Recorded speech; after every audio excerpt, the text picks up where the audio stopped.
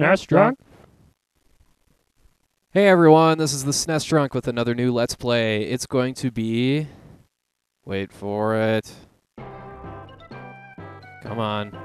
RoboTrek, the very definition of a hidden gem on the Super Nintendo. This game was originally released on uh, Super Famicom under the title Slapstick, where it had completely different artwork, art style, and everything like that. If you looked at the cover of this game as it was released in the United States, it looks super serious and super like like dark and like foreboding and all that. It's it's this is a very goofy game. Um, I I, th- I really like it. I've actually never finished it. I've gotten about halfway, more a little bit more than halfway, I think. Um, what I plan on doing with this Let's Play is this is going to be kind of my my go-to Let's Play anytime I run out of other stuff to play. I don't I don't even know if I'll get through this whole game, but I want to get more attention to this game because I don't think enough people know about it. I think it's a very good RPG. It has flaws big time for sure. Like the translation is really strange at times and kind of nonsensical.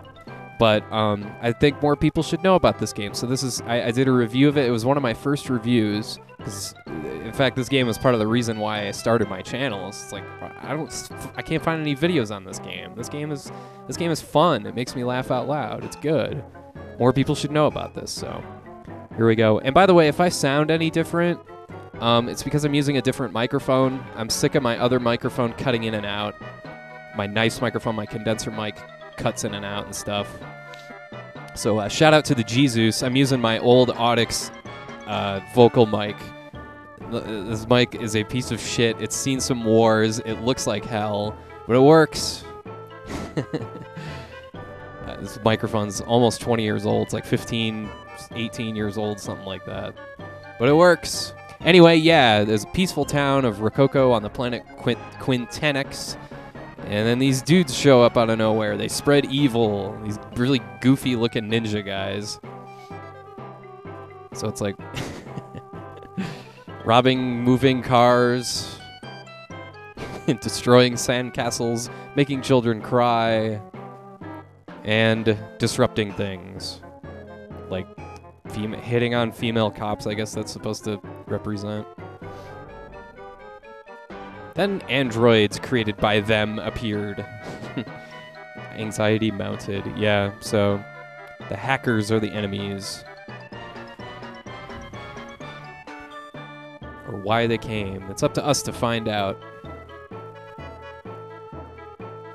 So yeah, and you are resident of Rococo. You just moved there. You're the son of an inventor. And his dream, as it says there, is to be an inventor. I'm not going to be one of those guys that like reads every line of di- dialogue as we go into the Let's Play. I, you guys can read, presumably. If, you, if you'd rather have me read the dialogue, I can but I'd rather not. Thing is, is that I, sometimes I'm gonna forget I'm playing a Let's Play. I can read really fast. I'm used to like watching anime with English subtitles, so I can read pretty quickly. So I might end up going through this the text fast. If I do, feel free to yell at me in the comments. Anyway, yeah, let's get this going. We're gonna start a new game. I'm playing this on the Retron 5, and for whatever reason, it did not import my old save, which is kind of annoying. But yeah, gonna go with good old fashioned drunk. All right, here we go.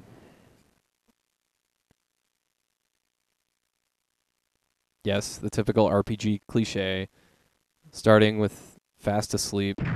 Oh, what did he fart on him? Yes, that's a fart joke. Insert Beavis and Butthead laugh.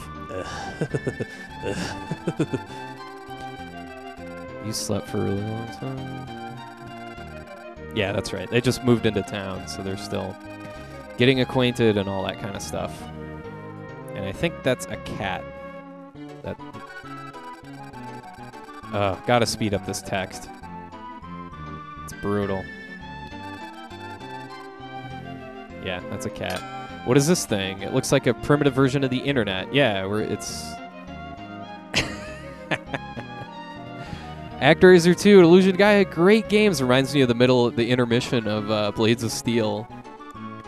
Contra, Jackal, great games.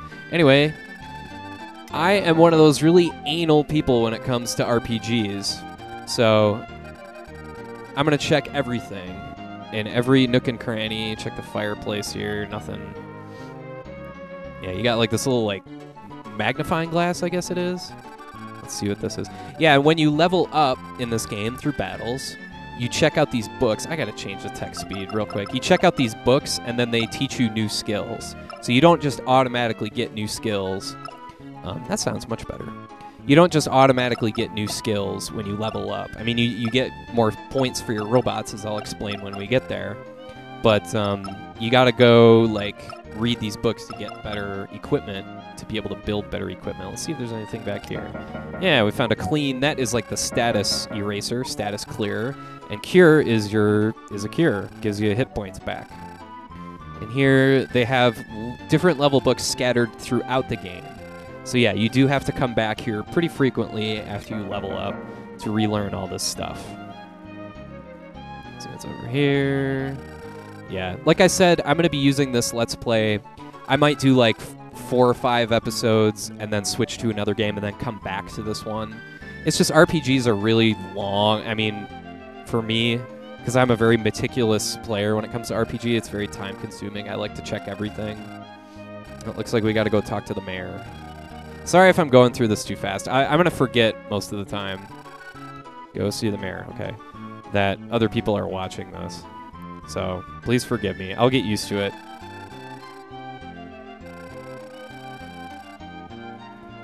Okay. Get out of the way. I want to check the mailbox.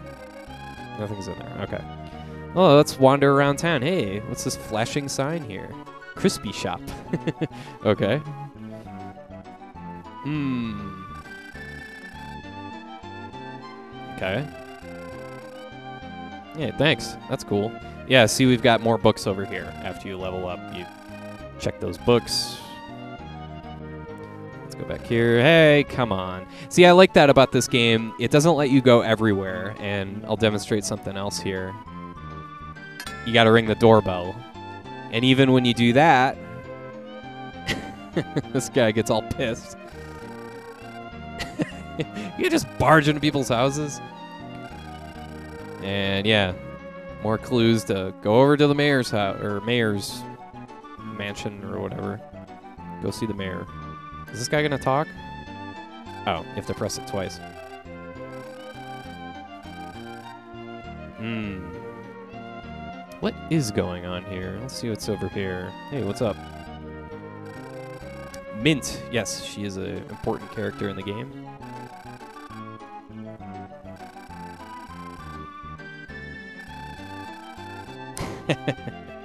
Gossipy, dirty, filthy. Reputation as a ham. not sure if he knows it. He's not self aware. It's cool to be a ham if you're aware, but if you're not, you're just annoying. Let's see. You click on this guy, he gets all pissed, looks out, and that's right, it's Ding Dong Ditch in an RPG. Great way to waste time. Yes, this was a peaceful town until hackers came. Yeah, press one of the control buttons on the controller. Okay, that's up to you to decide which one. So this over here. Hmm. Okay. What's your problem? No. Still dicking around here.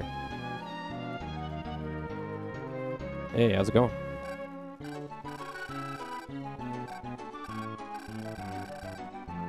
Uh, yeah, sure. Even the cat is confused. What do we got up here? Hey, free stuff. She's old. She won't care. Uh, there we go. Okay. Anything over here? No. Uh-oh.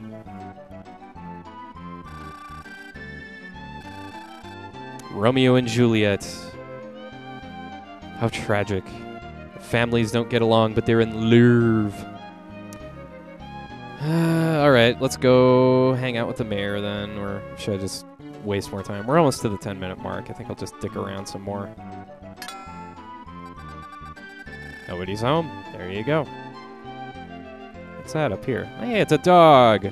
Hey, now he's following. Now he's my dog. hey, what's up? Nuh-uh.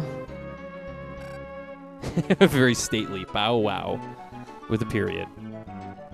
All right, I think that is going to do it for this episode. Uh, we're going to go talk to the mayor next time. Just a brief introduction of Robotrek. Thanks for watching.